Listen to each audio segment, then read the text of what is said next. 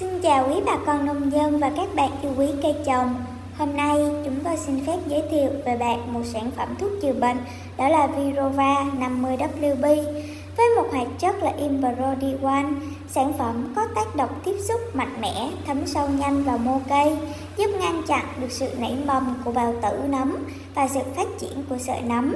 Đây là một loại thuốc sản phẩm với phổ tác động rộng có khả năng phòng trừ nhiều loại bệnh nấm khác nhau như bệnh lem lép hạt, đốm vàng và vàng lá trên cây lúa, bệnh chết ẻo trên cây con ở rau màu hay bệnh đốm lá và thối gốc trên cây dưa hấu. Đối với cây dưa hấu, liều dùng là 20g cho 8 lít nước. Bà con nào muốn mua có thể liên hệ số hotline 0776 400 038 hoặc mình cũng có thể truy cập theo website kỹ sư huy.vn để biết thêm nhiều thông tin hữu ích hơn về sản phẩm nhé bà con.